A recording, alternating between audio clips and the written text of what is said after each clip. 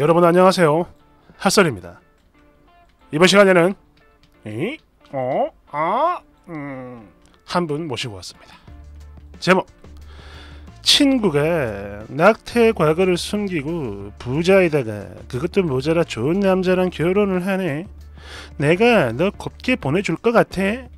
원제 낙태 사실을 숨기고 결혼합니다. 여러분 안녕하세요. 저는 25살의 평범한 여자입니다. 직장인이고요.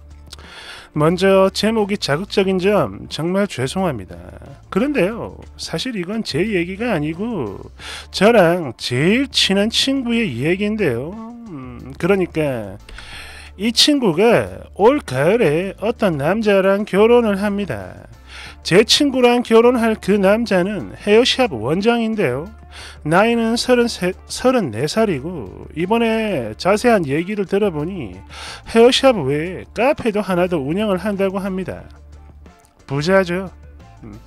여튼 그 헤어샵 내부에 네일을 하는 곳이 따로 있고 현재 제 친구가 거기서 사람들 네일을 해주는 일을 하고 있죠.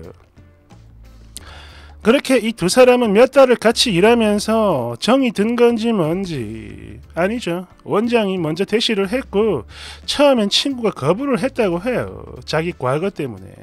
그랬는데 결국엔 또 뭐 어쩌다 보니까 사귀게 됐다고 하네요. 사귄 지는 7개월 됐다고 합니다. 그런데요, 얘가 이걸 꽁꽁 숨기는 바람에 저는 이걸 까맣게 몰랐어요. 이번에 알았죠. 아무튼 그랬는데 솔직히 말해서 이 친구가 이쁩니다. 그냥 뭐 이쁘장하다 예쁘구나 그런 수준이 아니고요. 같은 여자가 봐도 정말 정말 정말 많이 이쁩니다. 보통 뭐 어지간히 이쁘장하면 친구들끼리 막 질투도 하고 막 그러잖아요. 그런데 얘는 농담 아니고 뭐 그런 질투심조차 생기지 않습니다.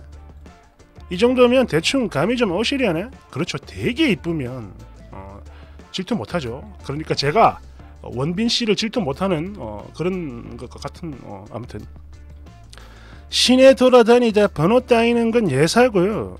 이건 진짜 셀 수 없이 많았습니다.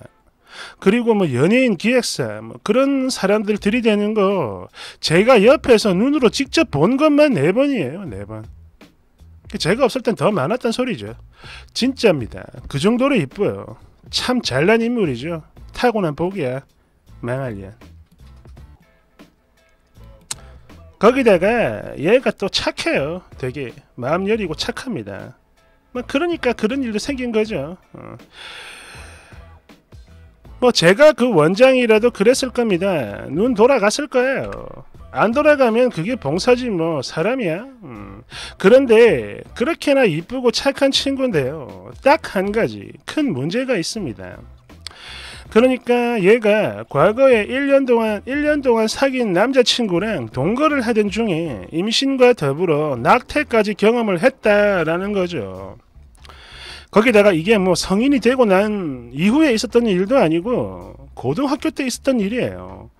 그때가 그러니까 저희 2학년 때였는데 당시 그 남자는 스물 살이었고요. 그렇게 그런 남자 하나 잘못 사귀면서 얘가 물들었어. 그 꼬임에 넘어간 거죠. 애는 착하거든.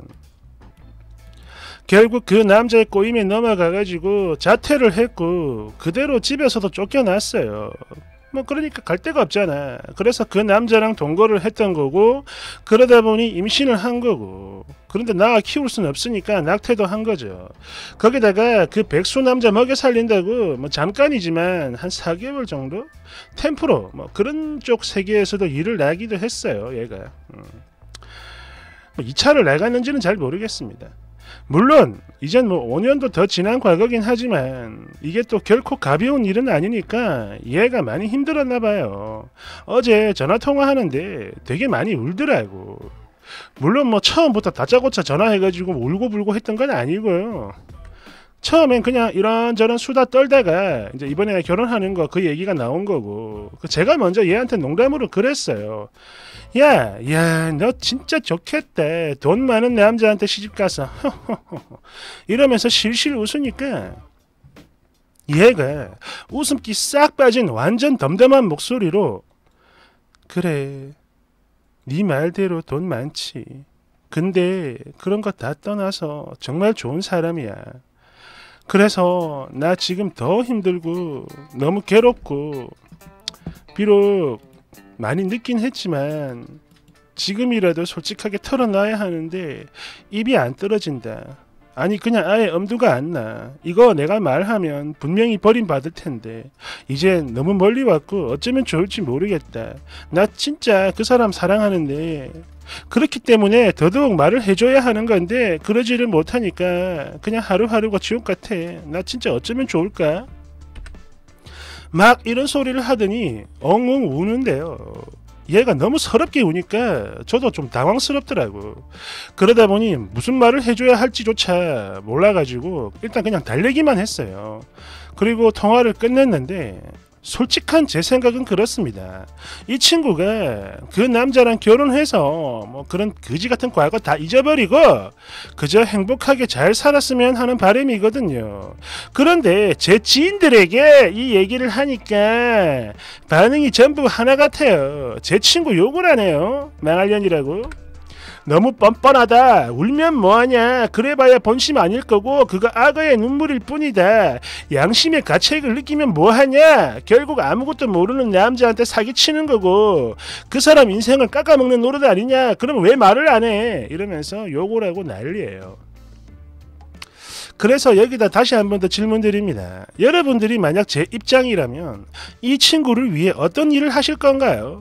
아니 적어도 힘들어하는 이 친구에게 무슨 말을 해줘야 할지 그거라도 좀 알고 싶어서요.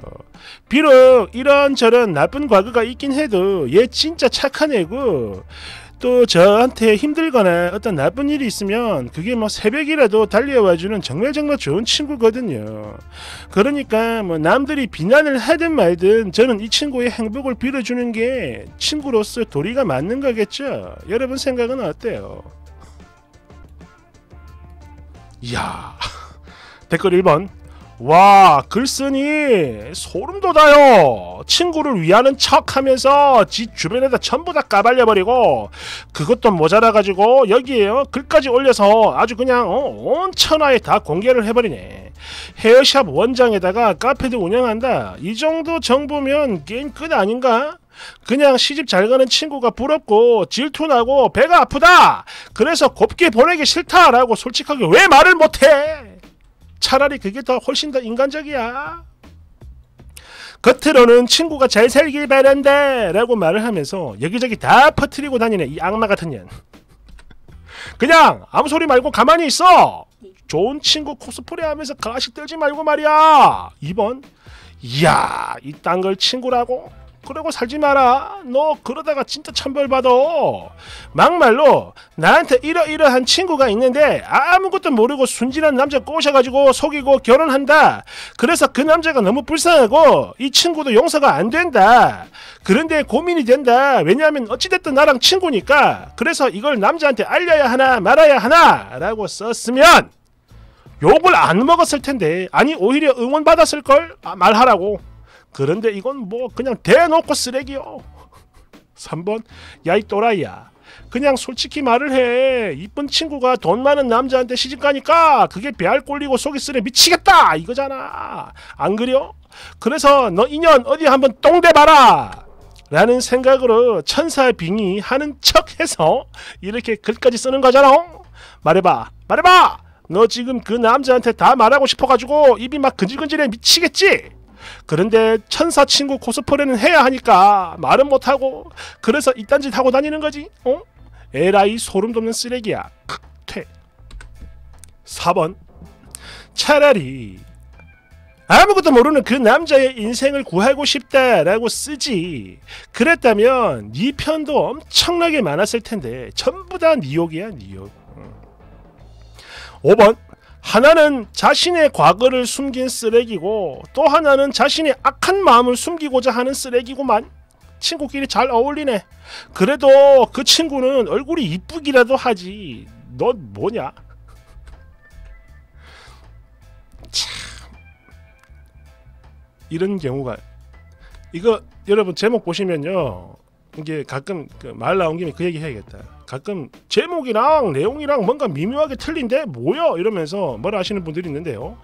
일단 진짜 제목은 원제 이겁니다. 이게 진짜 제목이고 제가 쓰는 제목은요. 그러니까 어떤 거냐면 글의 전체적인 맥락을 보고 아 쓰니가 본심은 이러겠다라는 걸 어, 제가 표현한 거예요. 여기 보면 그렇잖아. 겉으로는 친구를 위하는 척하지만 속마음은 아니라는 게 느껴지죠. 그거를 제가 제목에다 표현을 하는 거예요. 아시겠죠? 어, 그러니까 제목이랑 뭔가 미묘하게 틀려 이런 소리 하지 마요. 진짜 미묘하게 탁 틀어버린다 내가 뭐가지? 농담입니다.